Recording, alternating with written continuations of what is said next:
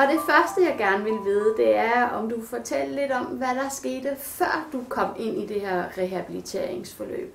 Så skete jo det, jeg faldt. Du faldt. Ja, jeg faldt første gang, og her bare derude i, i gården der, kan vi Ja, kalde den, ikke? ja. Og så fik jeg bækkenfraktur. Ja, vel, ja. Ja, så det var jo ikke så godt. Det var slemt nok. ja. Og så, og så med hånden, eller med jeg brækkede så hånden, ja, det var vel en, nogle måneder efter.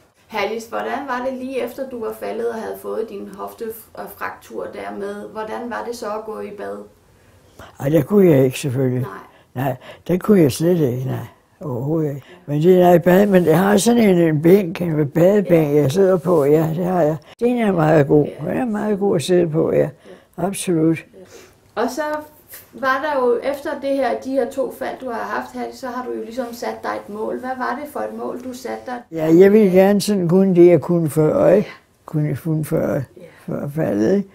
Var målet vigtigt for dig, Herdis, det her med, at du ligesom skulle kunne klare dig selv igen, og ikke have al den hjælp fra hjemmeplejen? Ja, jeg vil nok sige, at jeg kunne da godt sige, jeg var da glad, når jeg sådan kunne noget, ikke? Det var jeg da.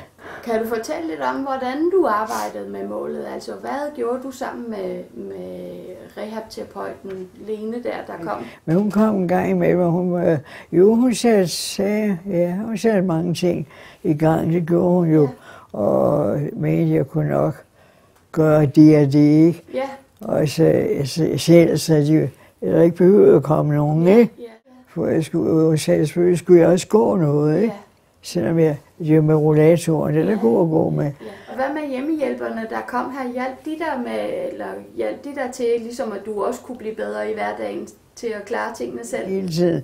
Ikke lige begyndelsen, det var jeg selvfølgelig ikke. Men efterhånden så sagde de, at jeg skulle selv vaske op. Ja. Det var også et, et uh, led i det der. Ja.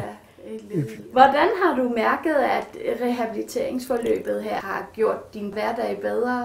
Har du mærket, at det sådan har haft en betydning i din hverdag? Ja, det er godt. Det er rart, man kan måde til absolut, Ja. at man ikke skal have nogen hjælp hele tiden. Det er virkelig meget værd. Absolut. ja. Også det her med at gå ned i byen og handle selv her, det, det har du jo heller ikke kunnet. Ja, jo, i begyndelsen så fik jeg mad hver dag for det der mad company, ikke? Eller nu er. Ja. Det, gjorde nok de første øh, fire måneder eller sådan noget. Ikke? Og derefter så sagde jeg, så skal jeg have lidt mindre, og så skal jeg lave noget selv. Ikke? Så jeg kunne, jeg kunne godt lave noget selv.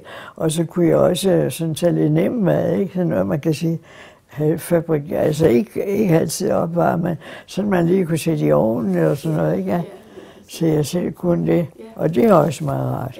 Så man selv bestemme, hvad man skal have, ikke?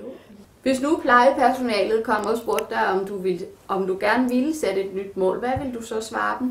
gå lidt bedre selvfølgelig, men, men nu går jeg også, så går jeg til gymnastik, ikke? og hvad kan jeg gøre mere? Hvad kan jeg gøre mere? Så kan jeg gå ture jo, Ja. som jeg gør, ja. Gør du det? Ja, jeg går i byen, men jeg skal også handle, altså, ikke?